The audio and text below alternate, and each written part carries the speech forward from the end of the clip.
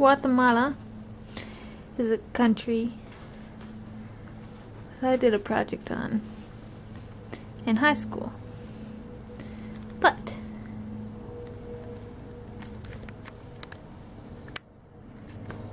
the country my sister is going to is I get this to work. Costa Rica. March 3rd. March 10th. An eight day vacation. My sister and her husband are taking to Costa Rica this 2021 year.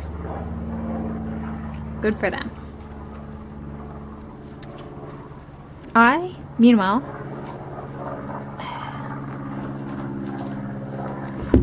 have to look after their dogs, which is kind of a pain with a lot of squirrels.